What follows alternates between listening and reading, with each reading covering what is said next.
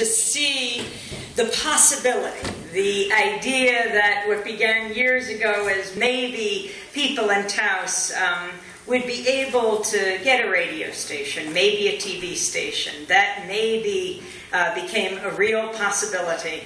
And now you are raising money, you've gotten the licenses. It is truly something.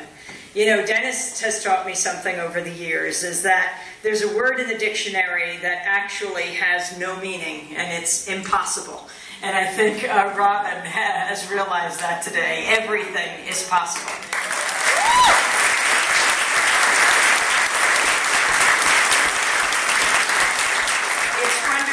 to be Old Martina's Hall. I understand this is the big, first big mass event, and that she has just returned from Germany and is staying up for this to see the possibilities in her own space.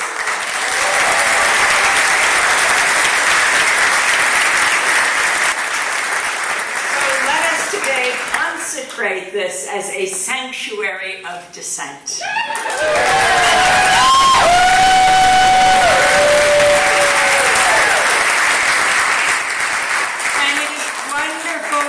Once again be here with Moby Dickens and to know that through these years that we've come here, that Moby Dickens continues. I don't take that for granted at all. So many independent bookstores have been shuttered over the years, and the fact that they are still here, I too see bookstores, these places where you go in, where you can travel the world, continents, um, centuries without actually physically going anywhere, but just letting your mind wander as you open these books. Like libraries, I see them as oases of dissent, and I'm so honored to be able to work with them again. And I hope you buy as many books as you'd like to buy because, you know, as Dennis was describing, when these books are driven up the bestseller list, there are many bookstores, unlike Moby Dickens, that only buy the top bestsellers, and thank goodness they don't.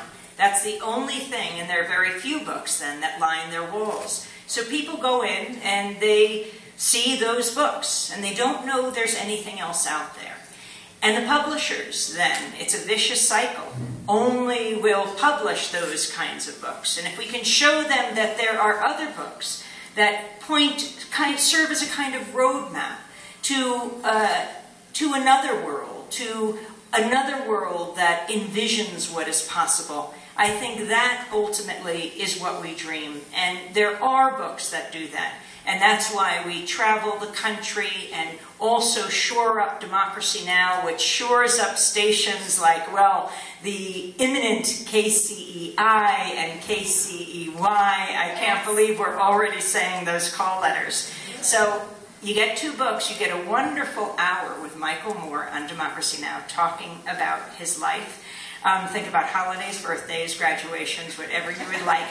And we'll be signing afterwards. It's also just a wonderful opportunity to get to meet you. And whether or not you get a book, come up and say hi if you can stand being up that late.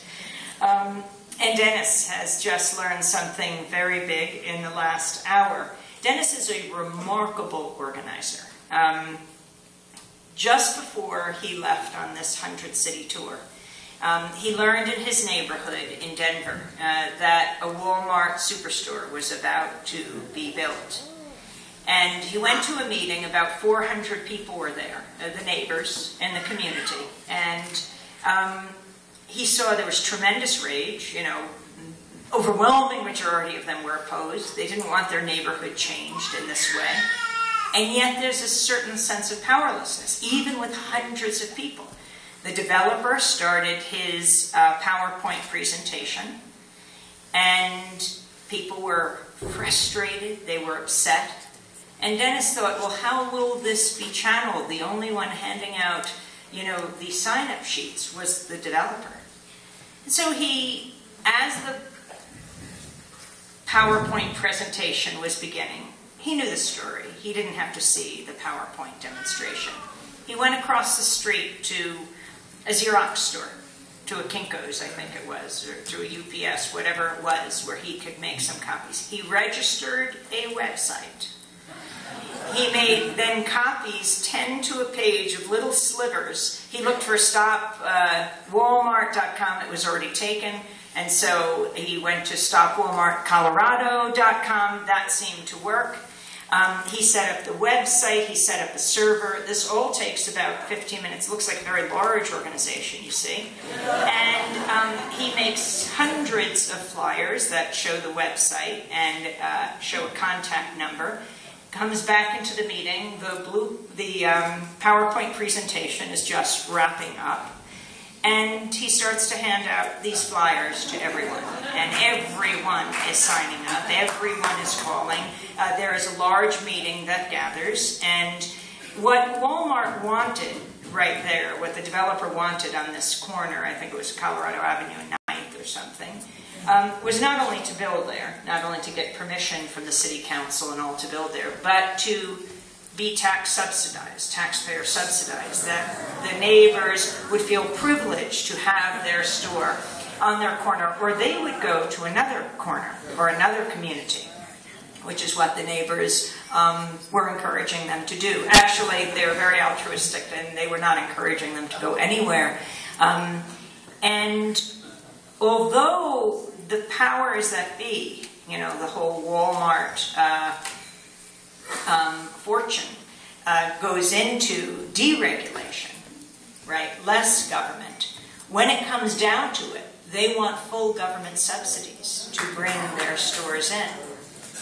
And so people organized. And um, Dennis, I believe, had something to do with the with buying 100 Stop Walmart lawn signs. He was already now gone on the tour and suddenly people were sending him pictures. There would be one Walmart, stop Walmart sign on someone's lawn, then 10, then 100. When we came into town this past week, because we went all through Colorado, we went down streets where every single, you know, it would be political signs for various candidates, and they would be different ones, some Republican, some Democrat, you know, for everyone from the lower level council member to president, but everywhere there were stop Walmart signs.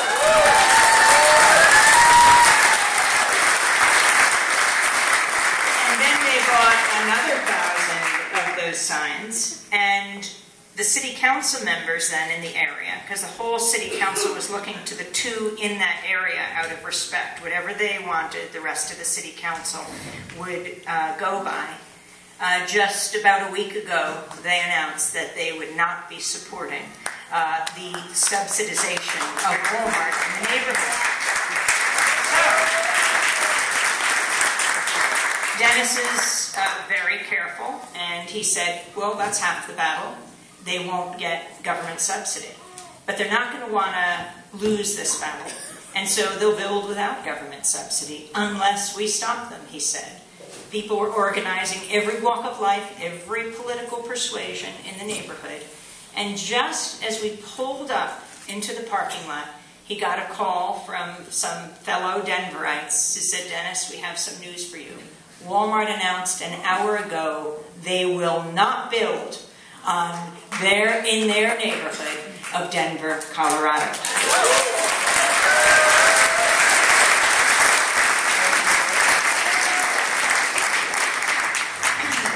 And these campaigns we will be talking about Walmart tomorrow and Democracy Now! and various uh, worker actions that have been taking place.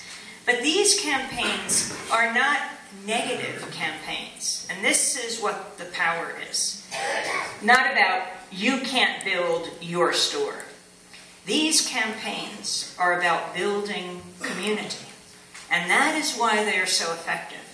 They're about saving the mom and pop store on the corner they're about saving the Moby Dickens down the street. They're about saving community, about saving the workers being who need to be treated right, need to be paid fairly, because these large, large, large stores, though their owners fight any kind of regulation, and they fight the expansion, what they call, of government, big government. Many of the workers who work in these stores have to be subsidized by the government. Many of the workers who work in these stores are below poverty level. And so, in fact, you are subsidizing Walmart every step of the way. And it's been a very interesting, enlightening, um,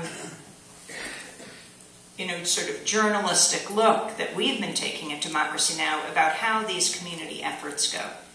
So that's just a little uh, comment about my colleague, Dennis Moynihan, who is uh, truly a remarkable organizer, a wonderful writer, a deep researcher, and uh, this book wouldn't have been possible without him, as well as the growth of Democracy Now!, which began 16 years ago as the only daily election show in the public broadcasting.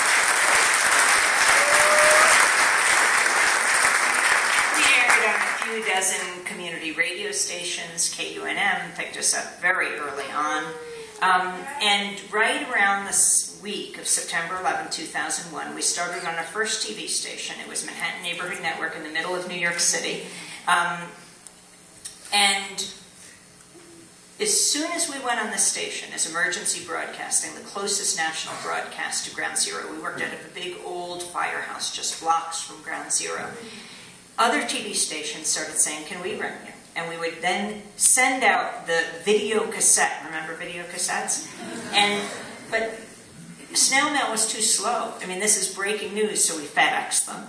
And then the mailmen would be coming and the FedEx guys, and they'd have garbage bags filled with these video cassettes until we were able to use satellite. But also, we perfected a way from the very beginning to send broadcast quality video through the internet because we couldn't always afford the satellites that the big networks used. But we knew it was critical to be on television because that's where many people uh, get their information. And so we began on a few dozen community radio stations in 1996, and now we're broadcasting on over 1,100 public radio and television stations, increasingly on PBS stations and NPR stations, um, on both satellite networks, Dish Network and um, uh, Dish Network, Channel 9415, Free Speech TV, 9410, Link TV, and on Direct TV. Uh, both dish, both free speech TV and like. And I hope that you pick up these, pick up mounds of them, and leave them around. Um, you asked you can pin them up in coffee shops and laundromats and at your places of worship, wherever they may be, to let people know about the places Democracy Now! broadcasts, which is a roadmap of the independent media in your community. And I really love that we had to make some additions on this flyer. We couldn't use the old one from last time. Coming soon, KCEI 90.1 FM and KCEY 89.5 FM.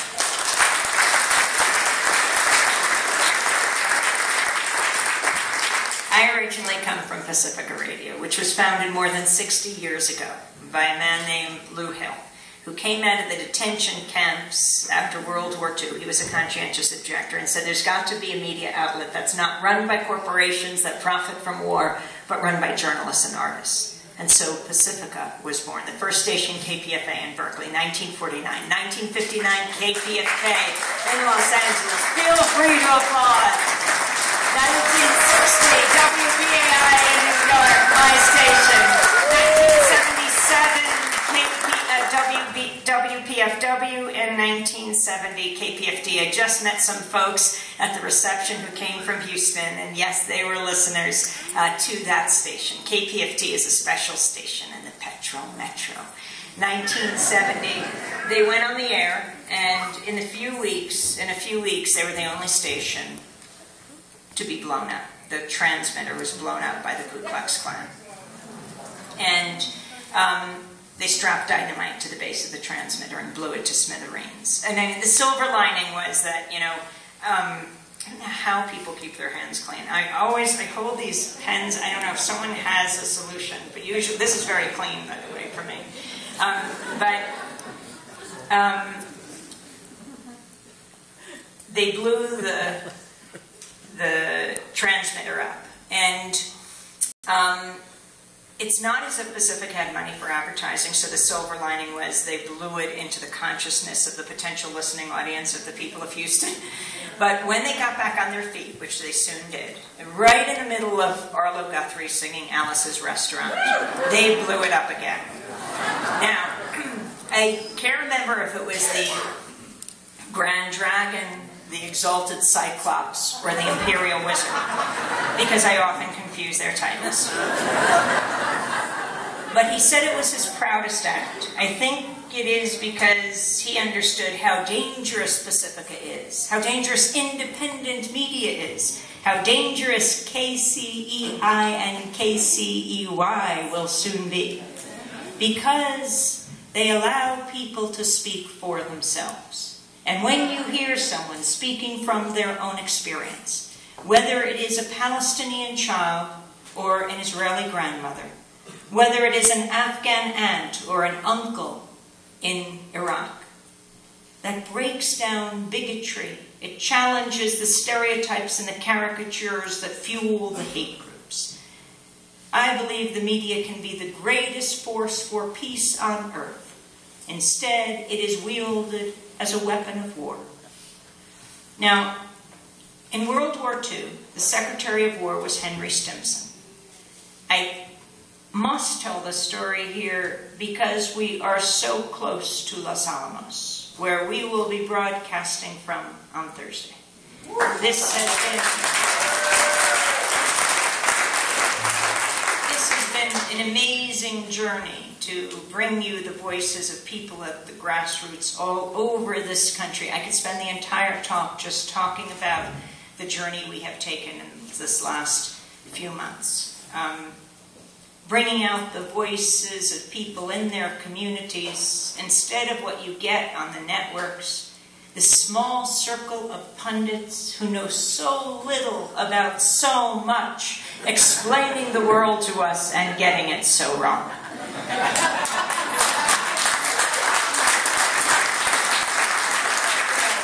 Henry Stimson, the Secretary of War in World War II. He is handed a list of Japanese cities to drop the first atomic bombs in the world made just down the road from here at Los Alamos.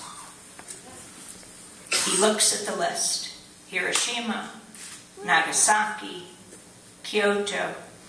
No, he crosses out Kyoto. Why? Because he and Mrs. Stimson had visited Kyoto. They had loved the people. The landmarks were magnificent, the food delicious. And he knew this place, and he said no. If only the people of Hiroshima and Nagasaki were lucky enough to host the Stimsons. I mean, the profound point that this raises. He knew this place, and so he didn't want to destroy it. That is the power of independent media. I mean, how do we learn about the world? We learn about it from our families, from friends, but mostly in the rest of the world, we learn about it through the media, and it must be through something other than a corporate lens. And equally important, and especially when it comes to national security, the rest of the world must see us through something other than a corporate lens.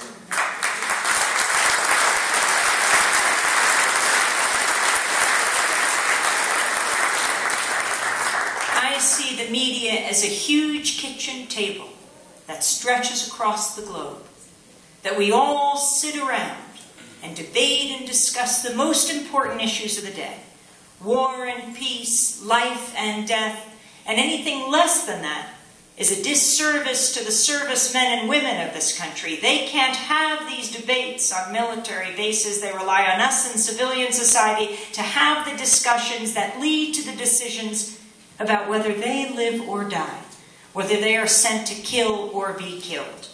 Anything less than that is a disservice to a democratic society.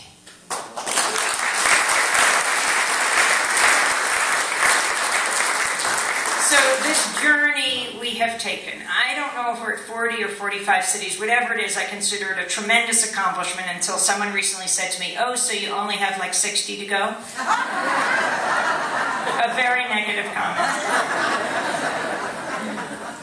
But it's not that bad. I mean, this weekend we started in Salida. We slid into Salida at 9 a.m. and then to Carbondale at noon, where the um, what were the the uh, avocado exotic avocado maker made salads for everyone at Carbondale Town Hall, and then we made our way to Paonia at 4:30, and then we were going into Carbondale uh, to Crested Butte for an evening talk.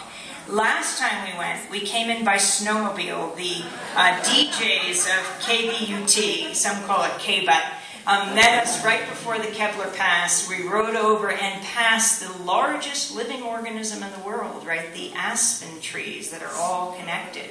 And we rode into Crested Butte and we did this fundraiser for KBUT, and my feet were frozen through the entire talk.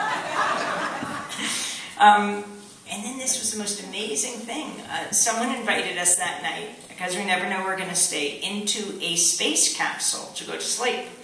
And it truly was. I don't know, rumor has it Neil Armstrong built it, but it was a space capsule Swiss chalet. And that's where we stayed that night. Then the next morning we went made our way to Telluride, and at night we spoke in Durango, and we broadcast from Fort Lewis College on Monday morning and Tuesday morning. The four-year college that graduates more Native American students than any college in the United States. So what better day to broadcast from Fort Lewis when they were honoring the Day of the Americas. Some of you might call it Columbus Day. Um, and we brought on uh, members of the White Mountain Apache tribe and the Navajo tribe and talked about um, what does Columbus mean to them. Now, we had flown into Colorado last week from, from Washington, D.C. We had driven all night to get to D.C. because we were in Blacksburg, Virginia the night before. Why Blacksburg? We went to Virginia Tech. Because the Brady campaign against gun violence, you know, Jim Brady, who was shot in the head when um, uh, during the attempted assassination of President Reagan and then started the center uh, with his wife Sarah. They were leading a campaign to get Jim Lehrer the PBS anchor and moderator of the first debate to ask a question about gun violence, especially because the first presidential debate was in Colorado, where the Aurora massacre just took place in a decade ago, the Columbine shooting. It seemed like it was a pretty obvious question to ask. And so we went to Virginia Tech because one of the people leading that campaign is a young man named Colin Goddard who came down while we were there. He survived the Virginia Tech shooting. Colin is a remarkable young man. He was shot four times in the hips and the shoulders, and he took us to Norris Hall. And we, he just retraced his steps that morning in 2007 when he didn't want to go to French class. He was thinking he'd play hooky and go at breakfast, but then he thought better of it. And he came in late, but he came to class, and his French professor rolled her eyes, as she always did with Colin. And um, they started the lessons. And about halfway through, a young woman named Rachel, a student, the best student in the class, came in, and like Colin is looking at her, he had never come in before Rachel. And she was very frazzled, and she said, I'm so sorry I'm late. Uh, my dorm was shut down. They wouldn't let us leave because there was a shooting in our dorm. And he said, the whole class said, what are you talking about? We don't know anything about a shooting. And then before they're done talking about this, as she sits down, they hear that uh, sound of uh, like sort of fireworks crackling, hitting. And they think it's construction outside, but then it's getting closer, and it's the snapping, the crackle of gunshot. And the teacher, the French professor, looks quickly out the door. She yells to the kids, Get under your desks. She's killed. And the shooter comes in. They're all under their desks. And Colin describes, and some of you might have heard this on Democracy Now! this past week because we had Colin just reenacted it for us. He pulled his phone out. He said, I've never done this before. My next telephone, I called 911 I said, Quick, Norris Hall, there's a shooting. And they said, Where's Norris Hall? And he said, Norris Hall at Virginia Tech. Uh, there's a shooting. Where's Virginia Tech? Virginia Tech in Blacksburg. Blacksburg where? Blacksburg, Virginia. Where's that? His phone goes through to some other place, even though it's 911. And he quickly says, I'm desperate. We have a shooting. And they do eventually connect him. He's under the desk, and somehow his phone gets shot out of his hand. And he didn't know until much later that the young woman next to him had grabbed the phone and was describing the whole thing, whispering on the phone under her desk. The shooter comes in, there's 16 people in the class, including the professor. He kills nine of them and shoots up the others. That's Colin's description. And as we walk through Norris Hall, it's typical high school or college, you know, cinder block walls, tile floors, but this hall is now changed. They've made it beautiful wood floors and they've turned this whole area into a center for peace and nonviolence. But right before I talked to Colin, I went over to Nikki Giovanni's office. She is a great poet and a university distinguished professor at Virginia Tech she told her story. I asked her about the shooting, but I knew she doesn't like to talk about the shooting at all. She had been in San Francisco at the time and she was at some big meeting. And before the shooting occurred, she said, I'll be leaving now, and she jumped on a plane. She didn't know why, she said. She knew she had to get home. The shooting had not happened yet. And she flew across the country, gets in her car, is driving to Blacksburg, sees the local TV station shoot by at about 120 miles an hour in their car. And the police have closed off the Blacksburg exit. She can't go to Virginia Tech. and so she heads home and she turns on the radio and she hears there's been a shooting and she says, It's Cho. It's Cho. Who's Cho? Cho was the shooter. She taught him poetry. She had taught him a few years before, but she had said he was mean and menacing. She said she had reached so many troubled students kids with autism, kids with Tourette's, kids just having a hard time. And she said never did she ever put someone who was troubled out of her class. But she said this was different. He wore sunglasses, a hat over his face. He would not respond. She was scared. And she said to him, I want you out of my class. And he said, no. And she said, that's okay. He said, you can't make me. She said, it's true. I can't. So I will resign.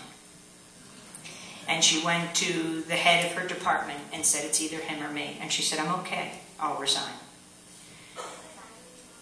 It wouldn't be, I think it was about a year or two before he did this, going on to harass and menace women on campus. If only all of this was taken seriously.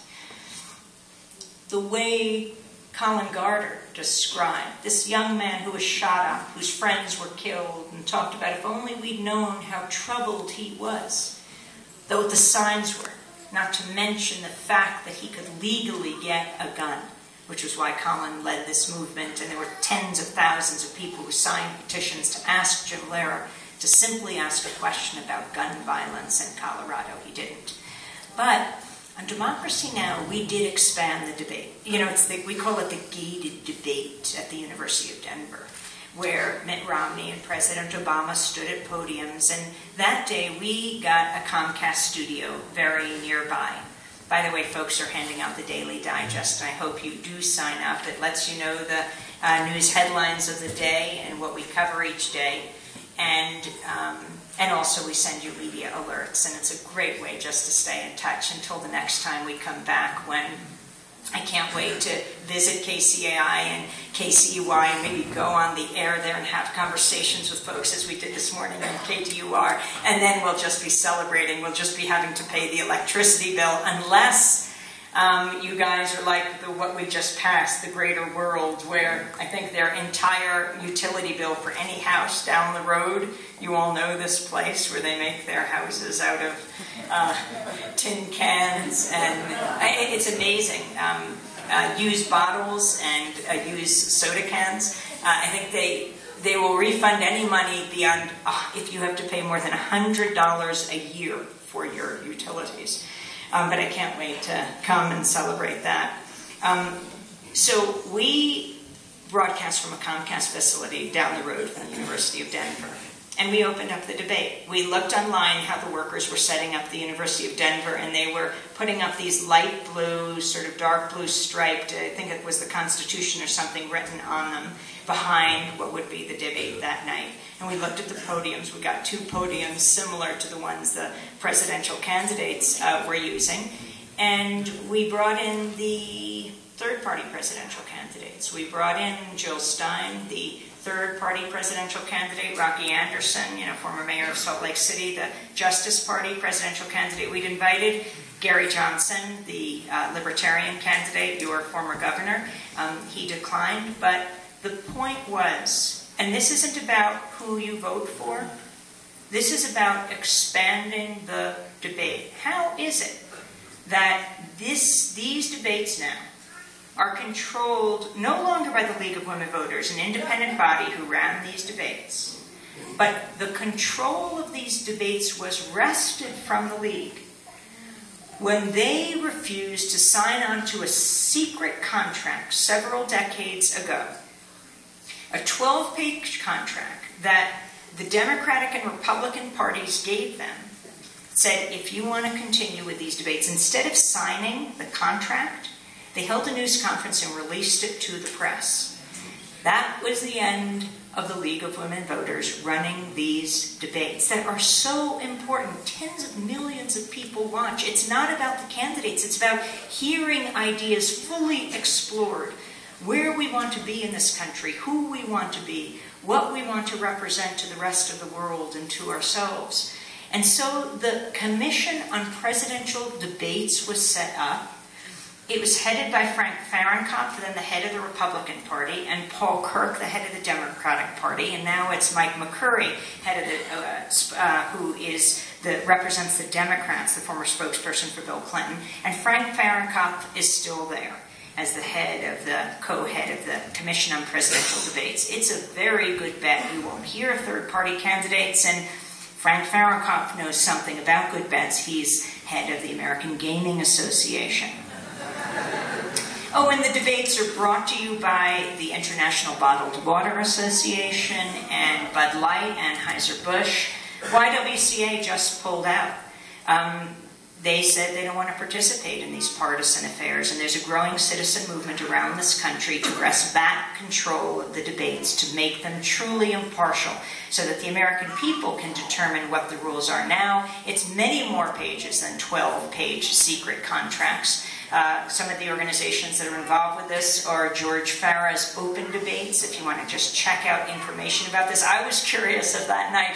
Um, either they, each of the candidates would have bottled water on the podiums or maybe a little Bud Light. so we had our podiums, and this is how we did it. Jim Lehrer welcomed everyone and asked the candidates about the economy two minutes for President Obama. When he was done, two minutes for Mitt Romney, and then we stopped the tape. And we said, Dr. Jill Stein, you have two minutes on the economy. And then we went to Rocky Anderson, two minutes on the economy. And when that two minutes was up, we said, back to my colleague Jim Lehrer at the University of Denver. And that's the debate you heard for the evening. Breaking the sound barrier, that's what democracy sounds like.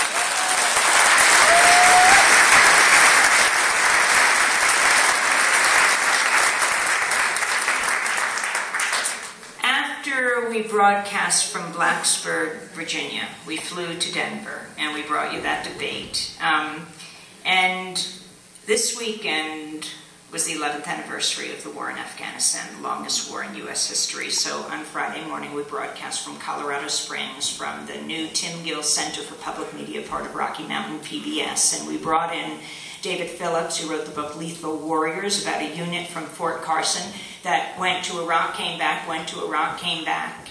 The murder rate at Fort Carson, 114 times the murder rate in surrounding Colorado Springs, because as these men came back, they couldn't switch, the, turn the kill button off.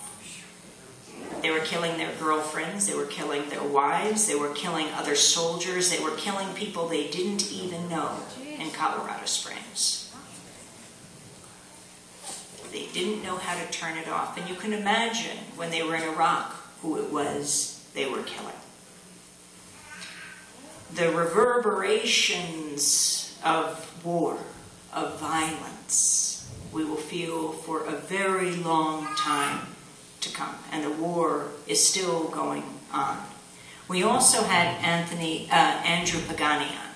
He was an Iraq War veteran, and now he he counsels soldiers. He's the first soldier since world since the Vietnam War to be charged with cowardice. It wasn't a few days that he was in Iraq and he was given that anti-malaria drug Lariam, and then he saw a Bradley tank explode in Iraqi, and he could not handle this. He started to break down, and he asked a commanding officer for help, and they charged him with cowardice. If you are found guilty of cowardice in the military, you can be put to death. He was exonerated. These are the stories we don't know. We broadcast that story from Colorado Springs, and then we went back to Denver. In the afternoon, I was invited on Al Jazeera English, actually, in the uh, news hours, the PBS News Hour studios in Denver. I was invited to have a dialogue with David Westin, the former head of ABC World News Tonight. Uh, he just retired about a year ago, so he's there through the invasion of Iraq um, and, well, beyond in both wars. So the moderator asked us about the coverage of the debates, and then we went on to talk about the war, and he said that they're very fair in covering these issues, and they bring in all the different points of view. And I said, Oh, really? to David Westin. I said, Let's go back to 2003, six weeks before the invasion of Iraq. Let's look at the study that FAIR did, Fairness and Accuracy in Reporting, FAIR.org, that looked at the two weeks around Colin Powell, then Secretary of State, giving his push for war at the UN. It was February 5th, 2003. And General Powell had a lot of credibility. He was really hesitant about the war, um, as half the population was in this country. but he then went to the global stage and said the evidence was in. Saddam Hussein had weapons of mass destruction and was preparing to use them against us. That was the final nail in the coffin for so many. So that two week period was very important six weeks before the US invaded Iraq because as Noam Chomsky says, the media manufactures consent. Manufactures consent for war. So FAIR looked at the four major nightly newscasts ABC World News Tonight, run by David Westin, CBS Evening News, NBC Nightly News, and the PBS NewsHour with Jim Lehrer. In that two week period, six weeks before the war, right around Colin Powell's address at the UN, there were 393 interviews done around war. Guess how many were with anti war leaders? Half the population is against the war at that point. Three. Three of almost 400. That is no longer mainstream media. That's an extreme media beating the drums for war. And that's what I said on Al Jazeera English. And David Westin responded, It might surprise you to know, Amy, that I agree with you. And that did surprise me. And he said he will forever regret that. You remember Peter Jennings, who died of lung cancer, the anchor of the ABC World News Tonight. He said Peter did not buy the weapons of mass destruction argument, but I prevailed upon him to back off. He said we were under a lot of pressure.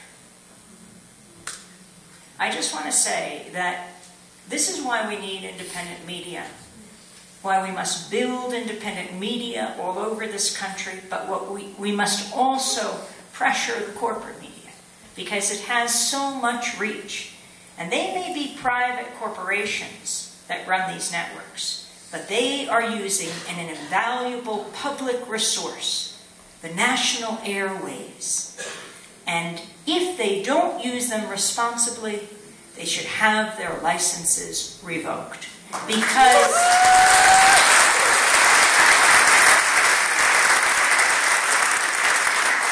the lies take lives.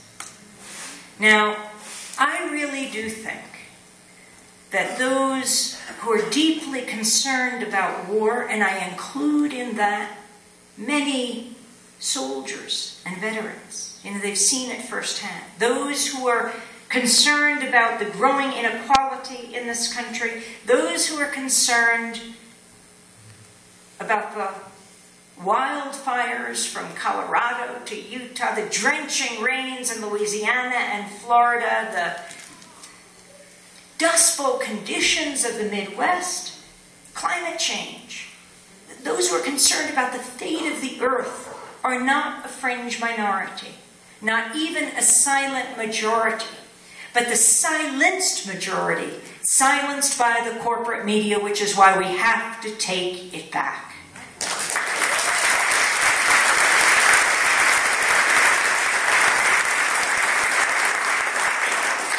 there's so much to talk about. Um, my brother and I, David, um, wrote a few books together. The first called The Exception to the Rulers, and the reason we call it that is that's what the media should be. The exception to the rulers. That's the motto of democracy now. The second book we wrote is called Static, and the reason we called it Static is in this high tech digital age with high definition television and digital radio, still all we ever get is static. That veil of distortion and lies and misrepresentations and half truths that obscure reality. When what we need the media to give us is the dictionary definition of static criticism, opposition, unwanted interference. We need a media that covers power, not covers for power. We need a media that is the fourth estate, not for the state. And we need a media that covers the movements that create static and make history.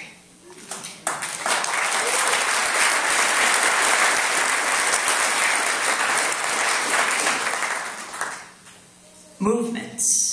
That's what we need the media to cover. And the media denigrates movements. And so let's talk about some of those movements. And we don't have to go very far back in time, but I will go way back and we will stay in this past year. I mean, the Egyptian Revolution, the Arab Spring, right? The Tunisian Revolution was sparked by a young man named Mohamed Bouazizi. He comes out of university, gets no opportunity, goes into the marketplace to sell fruits and vegetables. He's harassed by the authorities. They take a scale he is so deeply frustrated, he sets himself on fire, and that sparks the Tunisian Revolution. It ignited a generation of frustration. And something else sparked the Tunisian Revolution WikiLeaks, the WikiLeaks whistleblower website that released so many millions of documents, whether it was Iraq war logs or Afghan war logs or the State Department cables that US government officials wrote. And why would that have anything to do with the Arab Spring? Well, like, for example, in Tunisia, you know, they talked about the corrupt and brutal dictator, the State Department cables. Now, it's not as if the people of Tunisia didn't know that about Ben Ali, their leader, not their leader, but he was ruling them. Um, it's just that they understood then that the US understood how corrupt and brutal he was, and yet they were shoring him up to the tune of millions of dollars every year. And that just infuriated them further. And then that sparked the Egyptian Revolution. How many of you have experienced the Egyptian Revolution through the reporting of my colleague at Democracy Now!, Sharif I mean, Sharif's amazing. When this all happened, uh, in January of 2011. Sharif's getting texts from his family, from his friends. People are saying, I'm going to die for my country. And he's going, What the hell? He's saying, These are not political people who are writing to him. And he's saying, My country is really changing. And he flies right home into Cairo, no, right into Tahrir, right? And he didn't leave virtually for 18 days. And the reporting he brought you, well, first Mubarak plunged Egypt into digital darkness, right? He turned off the internet. Actually, he didn't do it by himself. He used a US company named Narus, it's based in California, and they flipped the switch. And when there was global outcry the next day, they had to issue a press release, and they said we were only following orders, but we've heard that before.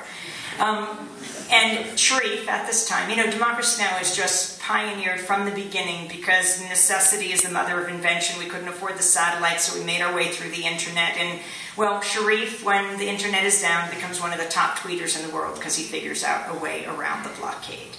And then the thugs brought down the satellites. Now, this is a problem for the major networks. This is how they transmit their videos, their reports. And they brought up the internet, but they brought down the satellites. So Um, I remember seeing Anderson Cooper in his hotel room on sort of a foggy kind of Skype connection. It looked like sort of old Democracy Now! with a lower third that said reporting from an undisclosed location. There was Sharif in the middle of Tahrir, saying exactly where he was and who he was and saying this is the safest place to be in all of Egypt. Sharif, a very illustrious um, uh, son of Egypt, his grandfather, the most famous writer in Egypt, Hassan Qaddus. Um, and he is reporting and he is interviewing people.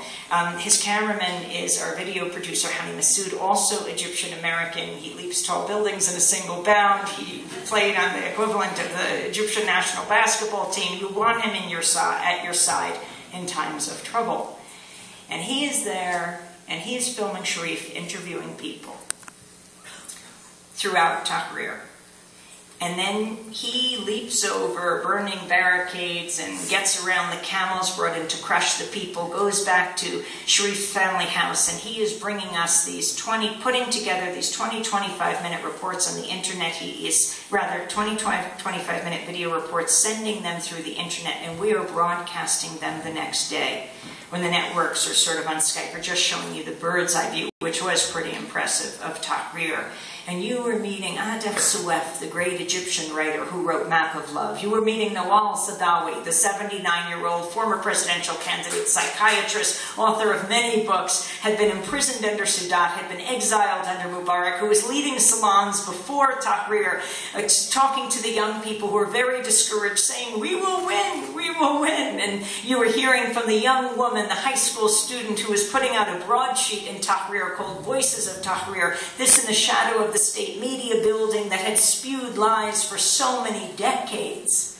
And then Sharif was being interviewed on all of the networks, not just on Democracy Now!, but on MSNBC, NBC, CNN, right in the middle of Tahrir. We call this trickle-up journalism. and,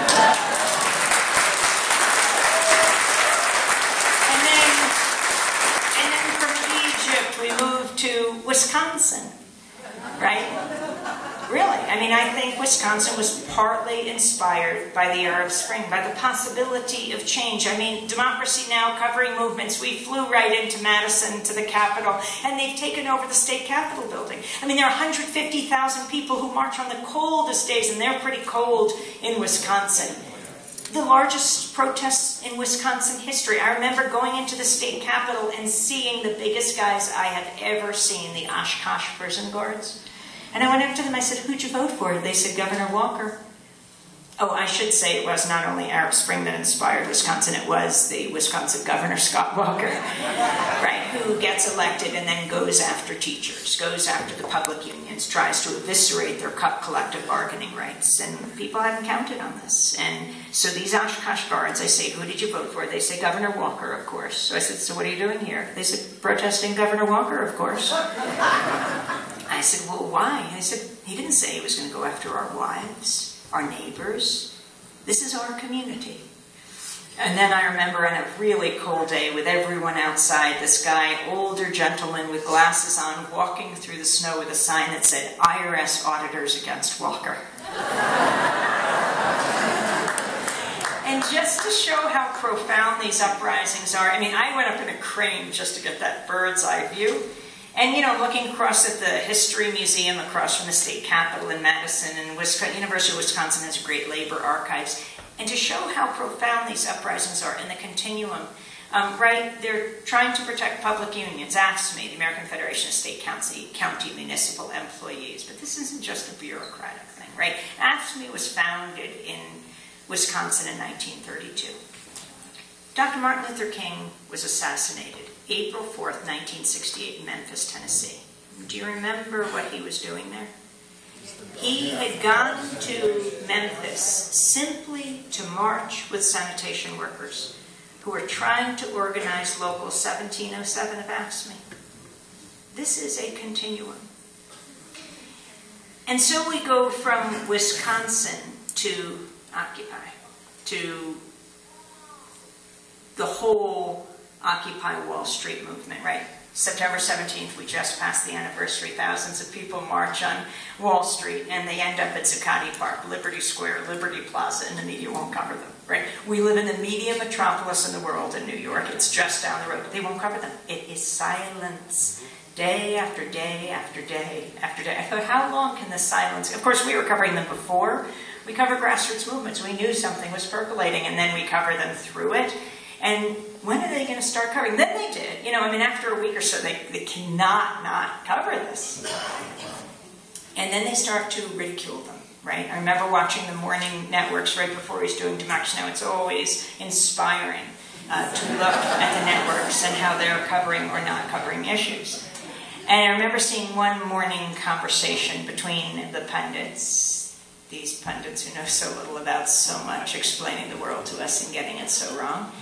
And they're saying, who are these people? I mean, they cannot even get it together enough to come up with one demand. It's like every demand under the sun, every sign. If they could get it together to choose a spokesperson, we'd have him right here.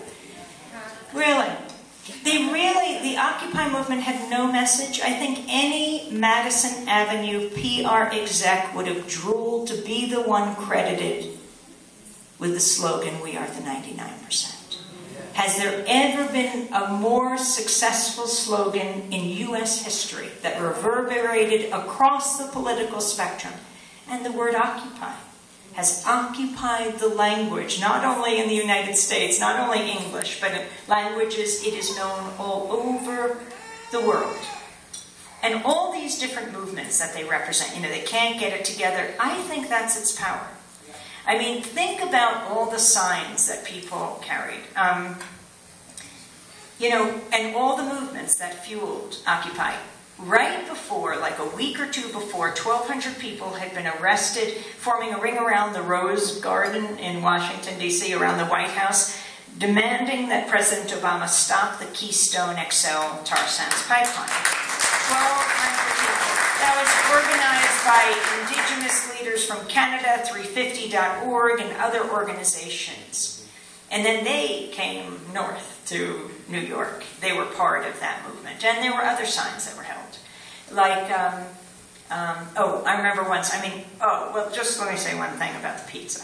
So there are a lot of pizzerias around Zuccotti, and of course, and people from all over the world, a lot of Egyptians were calling into the pizzerias to order pizzas to be sent to Zuccotti Park so that the occupiers would be fed. And I mean, there was so much pizza flying into this park. They had these huge buffets for um, people. You'd see hundreds of people lined up, and I'm not kidding you. A, a number of, and this is next to Wall Street, bankers are lined up because they appreciate a free lunch. So,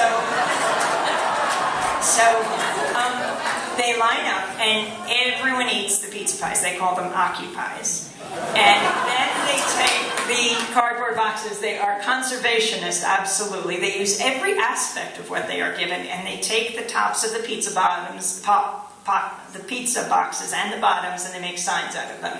They said things like, um, um, "I'll believe corporations are people when Texas executes one." Extremely clever. But let's now talk about the real thing. Another series of signs that people carried into Occupy Wall Street, into the encampment, were ones that said, too much doubt, and I am Troy Davis. Now, I just wanted to read a little bit. We have a whole section on the death penalty. Troy Davis and the politics of death, Troy Davis and the machinery of death. And I just wanted to read you a little. So it was September 17th, people occupied Wall Street. And then September 21st, Troy Davis was scheduled to die. Who was Troy Davis? On September 21st at 7